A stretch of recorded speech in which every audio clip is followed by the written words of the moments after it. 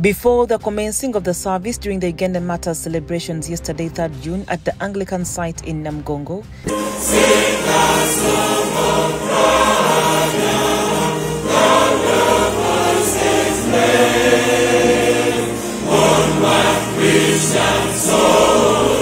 the Most Reverend Dr. Stephen Samuel Kazimba Mugalu, the Archbishop of the Church of Uganda, and Henry Ndukuba, the Archbishop of the Church of Nigeria, first toured the museum.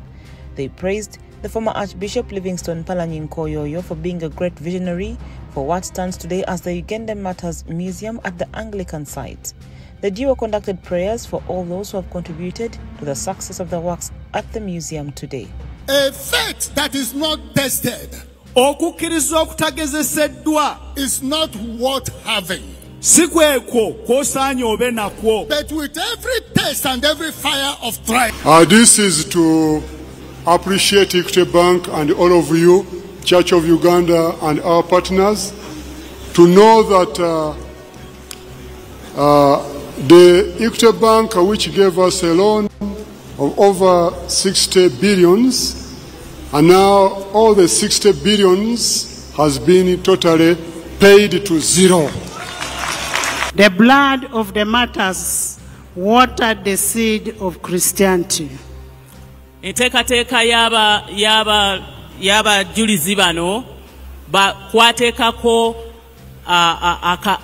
akakufulu kubuulira enjiri eya uganda It was therefore not shed in vain because their deaths served as a catalyst for the growth of Christianity.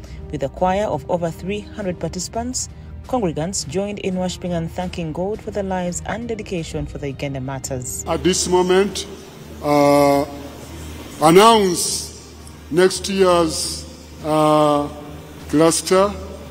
This is uh, northern Uganda.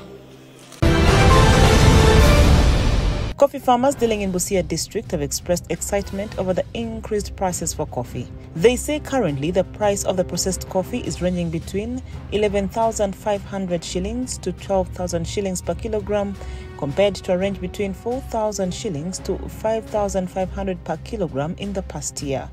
Speaking to some of the coffee farmers in Kubo Parish of Masafu sub-county, they say that they are now in business amid some few challenges of pests that attack as well as lack of enough processing machinery for their coffee.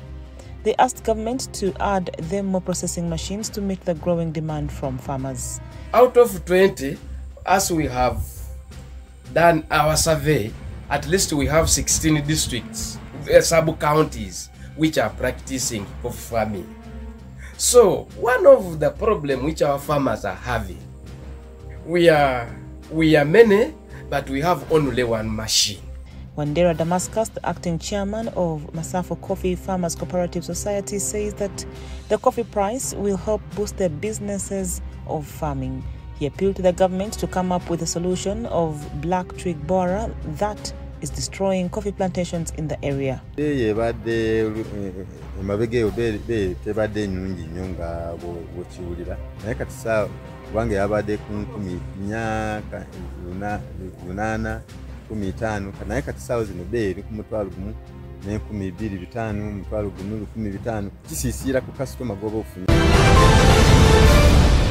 Israel Prime Minister Benjamin Netanyahu views a plan outlined by US President Joe Biden for a truce in Gaza and hostage release deal as partial, a government spokesman said on Monday.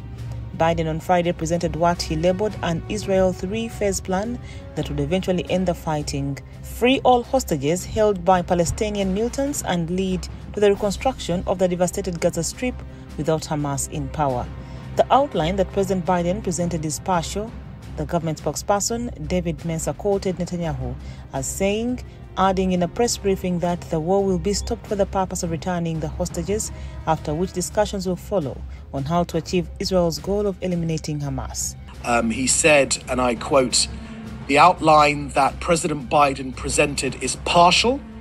Uh, the war will be stopped for the purpose of returning hostages, and then we will proceed with further discussions.